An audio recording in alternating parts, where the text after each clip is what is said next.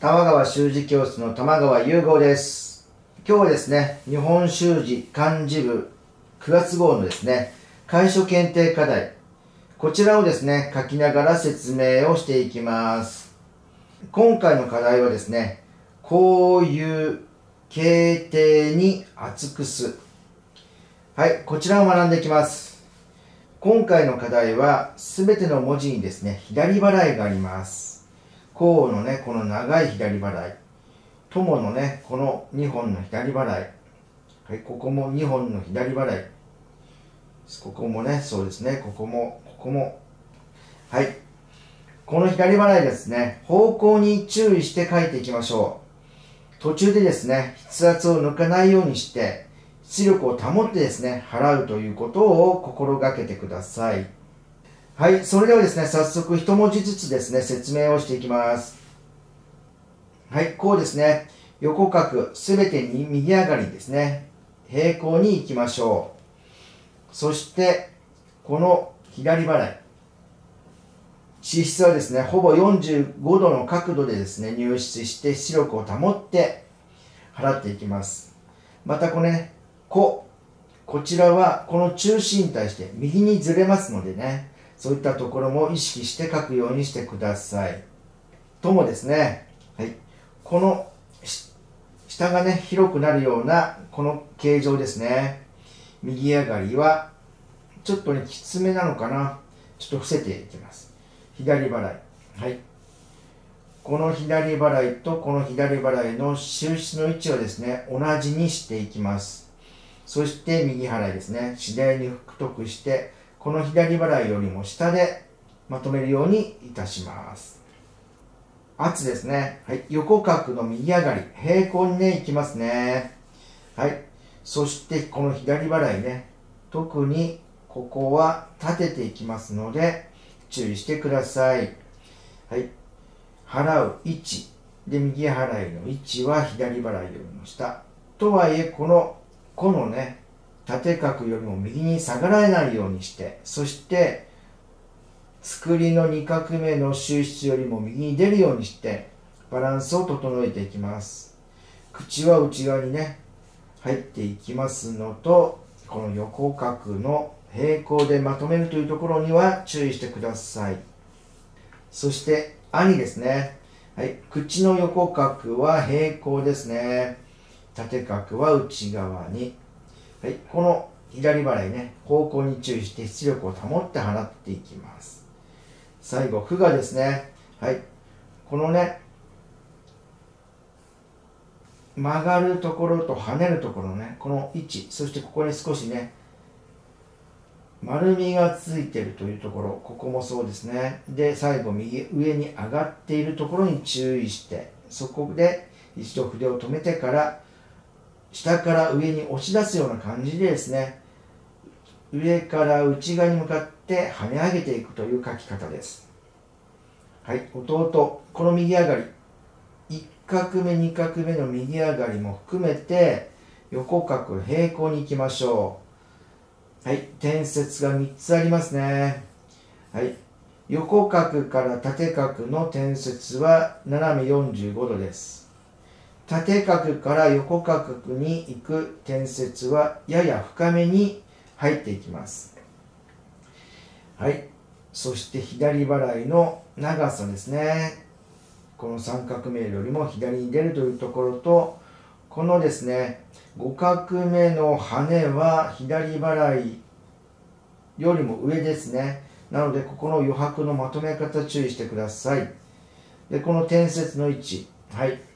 この三角目の点節よりも右に出るといったところで、ここに上部に余白が作られます。はい。そういったところにですね、注意して、では早速ですね、書きながら説明をしていきます。はい。まずはこうですね。1画目。はい。反り気味にいきます。2画目。立ててまっすぐ。三角目右上がりで伏せます。はい、4画目45度の角度で支筆して方向に注意してここに行きますね、はい、45度に入って出力を保ってここですね。はい。こうは中心よりも右にずれます。はい、右上がり。押さえて内側に。はい。このね2画目の外側。ねこっちここが中心になるようなところで書き手書いていきますね、右下に。そして内側にこう入ってねていきます。で最後ここに首のところにね交わるようにして。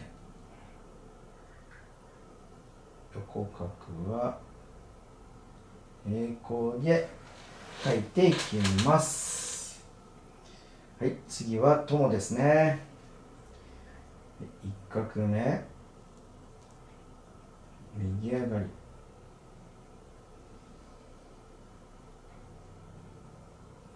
い二画目。ちょっと右行って押さえて左下に。はい三角目。このね横中心の横横線のねところ。はい右上がり。押す斜めに押す点節そして左下。はい。筆圧を抜かないようにしていきます。そして右払いは左払いよりも下に行きます。はいここで止まってで右に払っていきます。はい。圧。はい。1画目はやや右側です。123はい。2画目右上がり。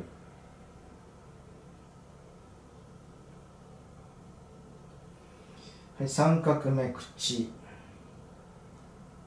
はい。縦角を内側に寄せていきます。はい。点節内側に寄せて。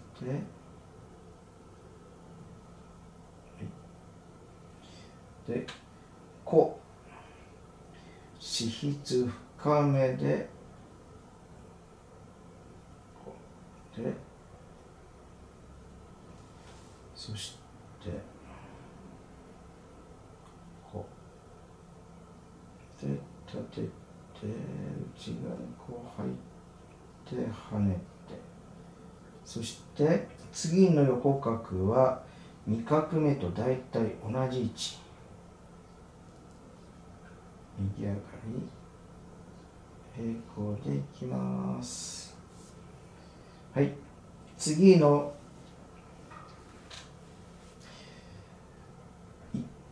作りの1画目はこの2画目の収支よりも少し上から。はいこの点節に向かって払っていきます。はい次の横角は口のこのね横角の延長線上。はい同じ右上がり。はいそして次の、払い左払いは立てていきます。この支筆のところで立てて左にそして最終角の支出はこのね子供のこの点節のところですね。ここからちょっと右に行ってだんだん太くして。はい。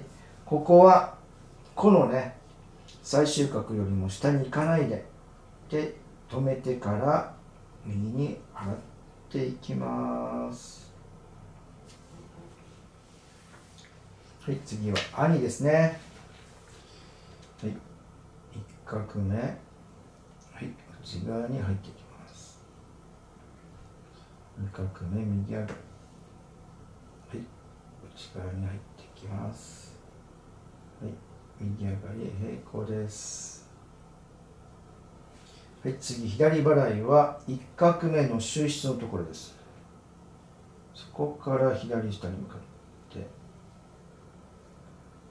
はい曲がり。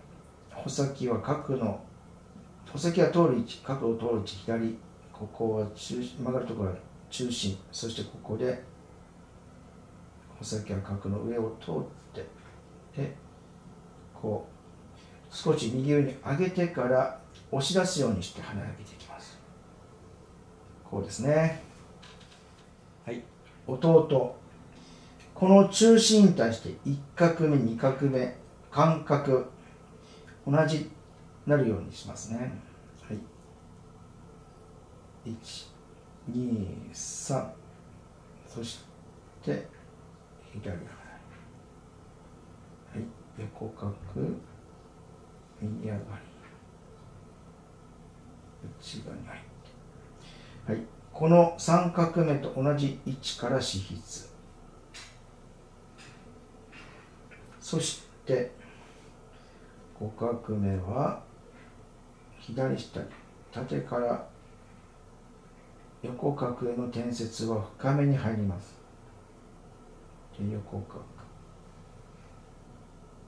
い、このね転接の外側のところを穂先が来るようにして止めてで内側にそして跳ねていきます。はい。縦角。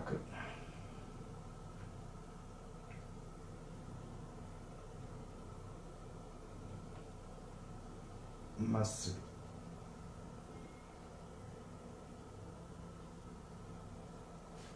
ぐ。はいそして左払いはい。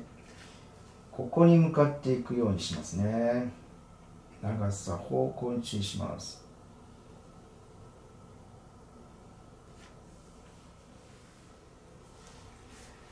はいこのようにして書いていきます。